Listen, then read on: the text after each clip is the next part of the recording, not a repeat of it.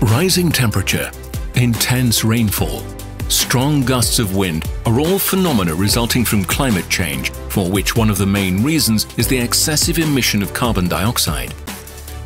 The greenhouse effect is a phenomenon of global warming resulting from the retention of a certain amount of heat emitted to the atmosphere.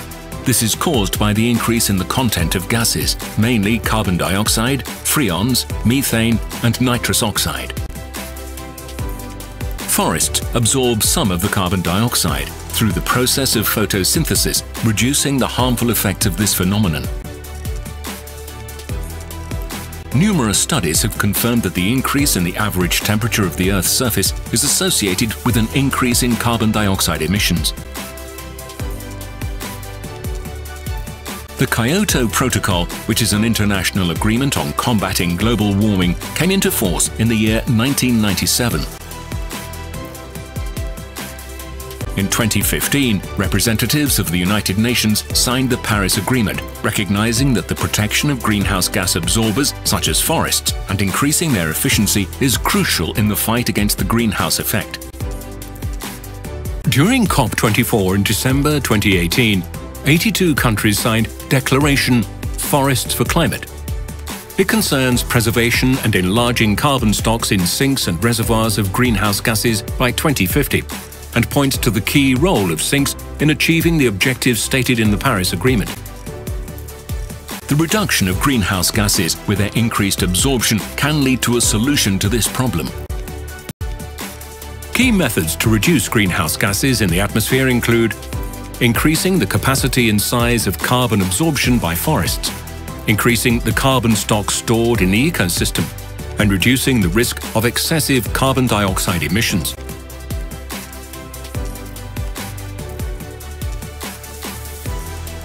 10 hectares of forest absorbs the amount of carbon dioxide equivalent to that produced by 16 trucks or one large pig farm.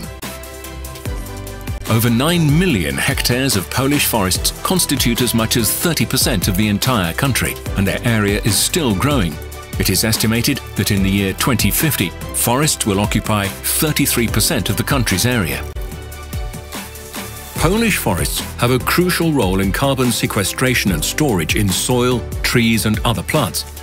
They absorb 36 million tons of CO2 a year more than they emit.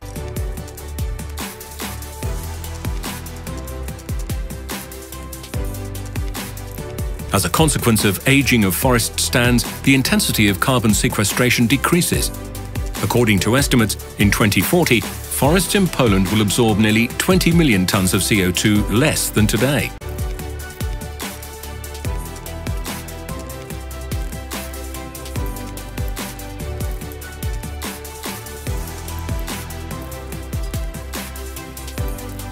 Multifunctional and sustainable forest management supports nature conservation and is essential for climate neutrality. Healthy, biodiverse and resilient forests adapted to climate change bring significant environmental benefits. They ensure continued supply of a wide range of ecosystem services which are essential for human health and well-being.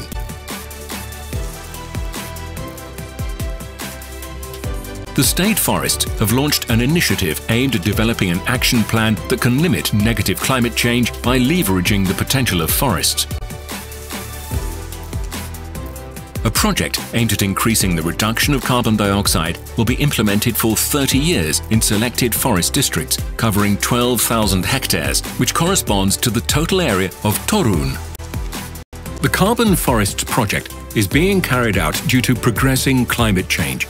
It uses the naturally occurring photosynthesis to absorb CO2. The greatest advantage of the project is the possibility to implement it on a larger area, planned activities under the Forest Carbon Farms project. The main goal of the project is to increase the amount of biomass and active protection of soil and wetlands.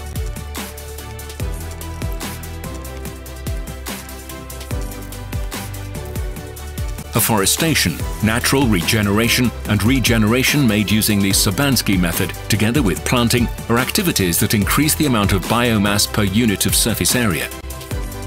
The introduction of underplanting deciduous species in the already existing pine stands will cause a significant increase of absorbed CO2.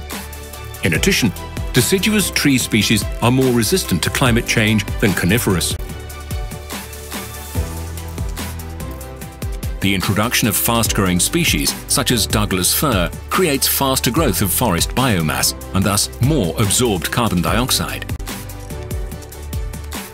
Changing development laws will allow, among other things, to avoid sudden erosion of the soil surface and change the age of preservation of tree stands. At the same time, it will increase the resistance of stands to abiotic factors, for example, fires and winds and insect damage. According to estimates, during the 30 years of the project, 12,000 hectares of forest will absorb up to 1 million tons of carbon dioxide. Additional CO2 reduction in the form of so-called carbon dioxide units, CDU. CDU corresponds to one ton of CO2 accumulated as a result of the additional activities within the project. Carbon dioxide units are purchased voluntarily, an added value for the PR and CSR partners of Lasy Państwowe, the state forestry. Through our partnership, we can acquire land for afforestation, protect rare and endangered species found in the forests, improve the forest tourist infrastructure. The carbon dioxide units, JDW, have been purchased by many other well-known brands sale of carbon dioxide units is the project's added value. The partners taking part in the project carry out the concept of business social responsibility in the field of pro-ecological activities. All information and news about the project can be found on the website of the State Forests Development Projects. Additional activities and promotion of the project have been carried out since 2017 and will last for the next 10 years. Each year, participating forest districts report on the implementation of additional activities. In 2021, study on methodological solutions for supporting additional activities will be finished, and the carbon dioxide units will be made available during the entire project lifetime.